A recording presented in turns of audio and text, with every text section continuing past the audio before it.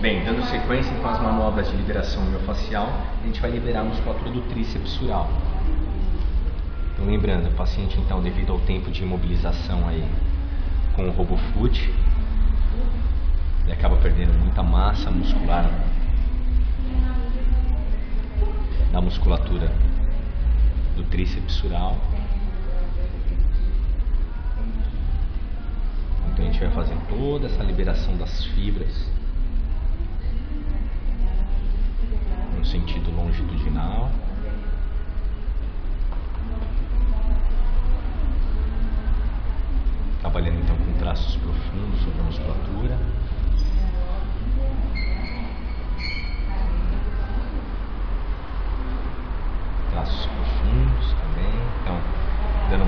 maior na musculatura de sólio, musculatura de gastrocnêmio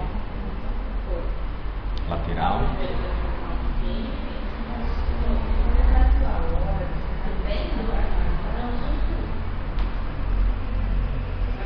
musculatura de gastrocnêmio medial.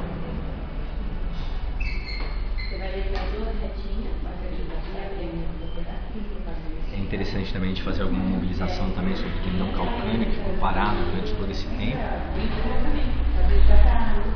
Então eu posso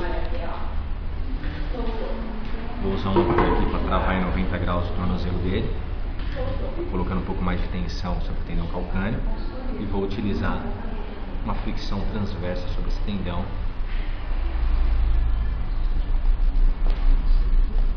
Realizando uma fricção transversa sobre ele. Então essas são todas manobras preparatórias para o trabalho depois que a gente vai fazer de propriocepção, reforço muscular global do paciente.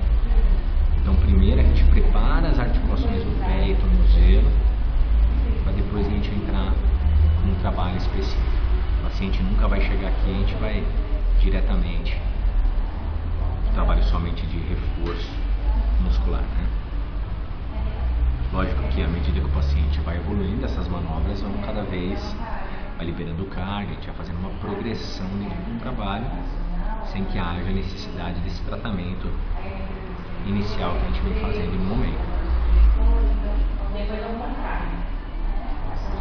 Então, todas as técnicas preparatórias, mobilização articular, manutenção, ganho de amplitude, liberação miofascial.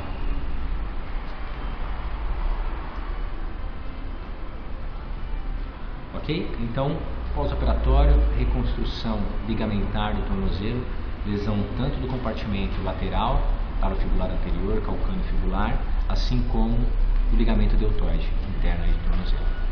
Ok? grande abraço a todos, não deixem de se inscrever no nosso canal e até a próxima.